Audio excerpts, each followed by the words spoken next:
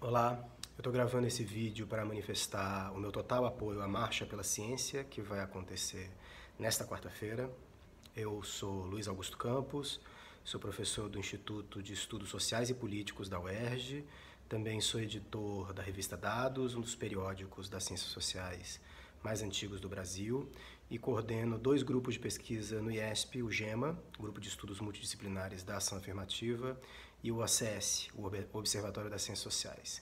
É, eu acho que é razoavelmente claro uh, para quase todo mundo que a ciência vem sofrendo já há algum tempo fortes ataques no Brasil. Uh, esses ataques tiveram como efeito indireto a situação calamitosa em que nós nos encontramos uh, no enfrentamento dessa crise causada pelo coronavírus. Uh, para além da defesa da ciência, nós só sairemos dessa crise com o suporte dos cientistas. Eu gostaria de fazer uma defesa específica da importância das humanidades e das ciências sociais uh, nesse período. Grande parte dos problemas que nós estamos enfrentando, como a baixa qualidade dos nossos dados relacionados ao coronavírus, às mortes, uh, ou o modo como determinados grupos sociais são atingidos mais fortemente uh, pelo vírus e outros menos, tem a ver com um conhecimento e uma série de apelos que foi desconsiderada uh, nesses últimos anos, feitos por sociólogos, cientistas políticos, antropólogos, uh, economistas e outros diferentes cientistas humanos.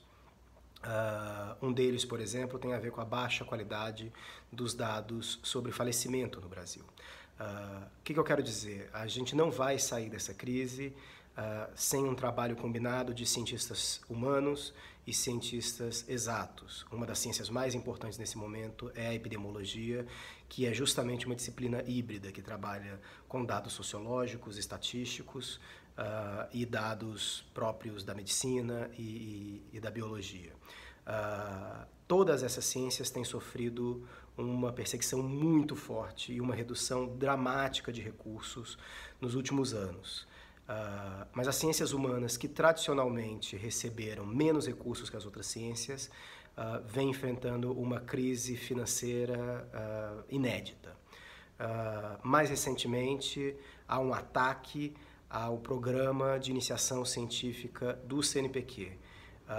eu fui um beneficiário desse programa como aluno de graduação na UNB, recebi durante quatro, quase todos os anos quase todos os quatro anos da minha graduação esse tipo de auxílio e acho que a iniciação científica é um elemento básico para o incentivo à formação de novos cientistas.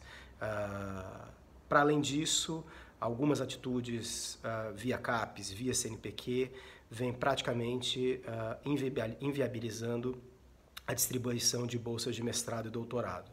Então, se não bastasse tudo que a ciência sofreu nos últimos tempos, no momento em que ela se torna mais urgente, uh, ela sofre corte de recursos uh, dramáticos.